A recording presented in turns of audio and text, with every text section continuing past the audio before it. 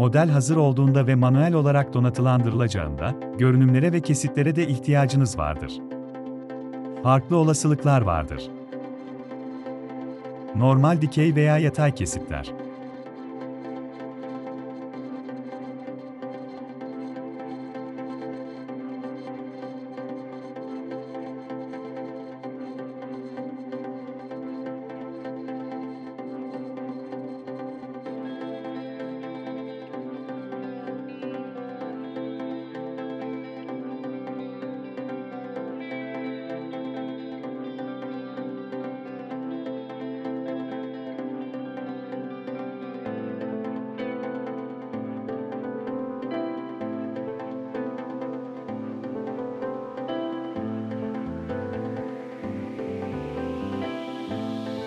Mevcut kesitleri kullanarak yeni kesitler oluşturmak.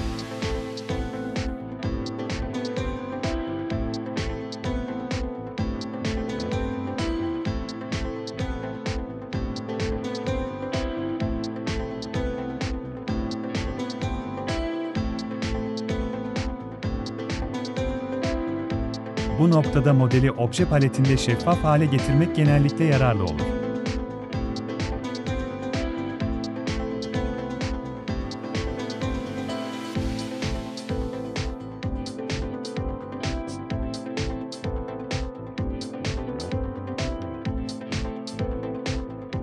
Ve sonra mühendislik alanında döşeme altlığı vardır.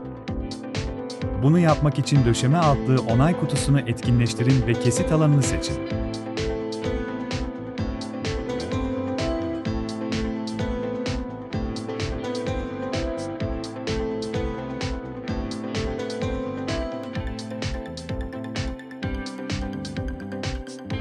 Karmaşık bileşenler veya donatılar söz konusu olduğunda, plan için izometrik bir kesit oluşturmak da yararlı olabilir.